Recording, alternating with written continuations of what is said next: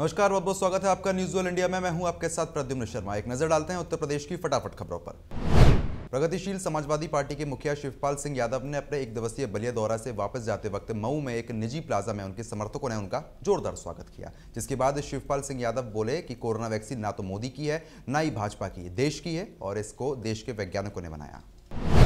पीलीभीत में जंगल से निकलकर हाईवे पर बाघ पहुँच गया, जिसके बाद वहाँ से गुजर रहे लोगों में हड़कंप मच गया। राहगीरों ने पुलिस को मामले की सूचना दी, जिसके बाद पुलिस और वन विभाग टीम मौके पर पहुँची है। बाघ को पकड़ने का प्रयास किया जा रहा है। फरुखाबाद ज़िले में लोहिया अस्पताल में मरीज़ को छोड़कर लौट रही 108 एंबुलेंस थाने के दरोगा की कार से रगड़ गई।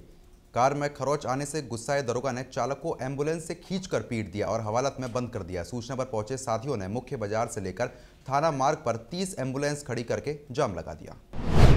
ललितपुर में घने कोहरे के कारण सड़क किनारे खड़ी बस में तेज रफ्तार, बस ने पीछे से टक्कर मार दी। हादसे के बाद बस का चालक मौके से फरार हो गया। हादसे में दो दर्जन से अधिक लोग गंभीर रूप से घायल हो गए। सूचना मिलते ही पुलिस मौके पर पहुँची है। राहगीरों की मदद से सभी घायलों को अस्पताल में भर्ती करवाया।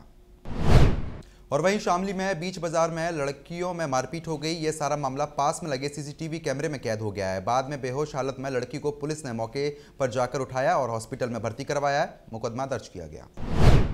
प्रतापगढ़ में एक घर में 22 कबूतरों की संदिग्ध परिस्थितियों में मौत हो गई, जिसके बाद इलाके में बर्ड फ्लू की दहशत फैल गई। पीड़ित की शिकायत पर वन विभाग की टीम और पशु चिकित्सा अधिकारी मौके पर पहुँचे हैं। शवों को कब्जे में लेकर पोस्टमार्टम के लिए भिजवा दिया है। और वहीं फरुखाबाद में तेज रफ्तार ट्रक और गैस टैंकर में भिड़ंत हो गई। हादसे में ट्रक ड्राइवर गंभीर रूप से घायल हो गया ग्रामीणों की सूचना पर पुलिस मौके पर पहुँची है। घायल को अस्पताल में भर्ती करा दिया दरअसल तेज रफ्तार के कारण हादसा हुआ है। पुलिस ने मुकदमा दर्ज कर लिया है। गाड़ी मालिक से पूछताछ की जा रही है।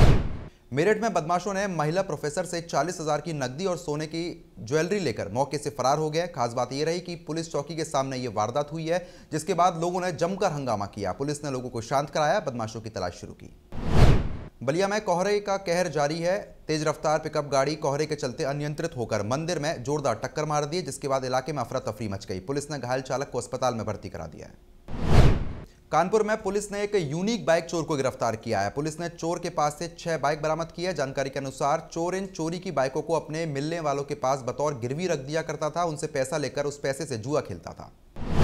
फ़िलहाल यूपी फटाफट में सिर्फ़ इतना ही। बने रहिए न्यूज़ वेल इंडिया के साथ। नमस्कार।